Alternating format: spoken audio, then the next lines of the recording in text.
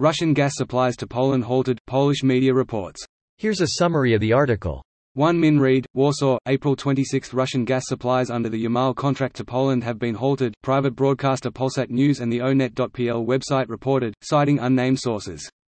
PGNIGSA, which buys gas from Gazprom under a long-term contract that expires this year, declined to comment. This post received a score of 12,000, with an upvote ratio of 97%. Here are the top comments in response to this article.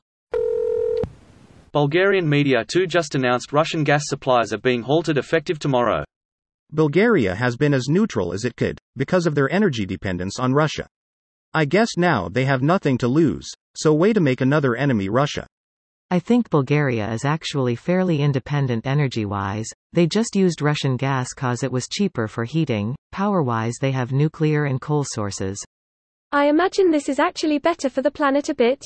Maybe new nuclear plants, wind farms, hydro, solar now v Russian oil.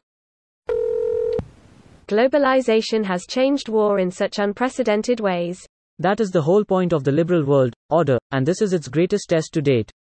Exactly. This is actually a good thing. If the economic pain is so intense that Russia actually capitulates, it's going to really cement globalization as a good thing. Economic interdependence is a good thing. Edit. Rip inbox. The hardest part will be making people realize that the economic pain pales in comparison to the pain, cost, and consequences of actual war. I think the Polish people is the least likely population to bow to Putin. Those guys hate the Russians with a passion.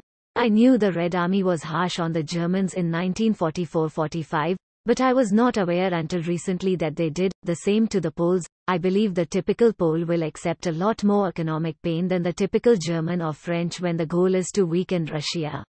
This too. Absolutely, I should have thought of that. Everyone knows Nazi Germany attacked Poland at the start of WW2. Fewer know that the Russians did too, but the Poles know. The Russians work hard to make the world forget. Putin's KGB does.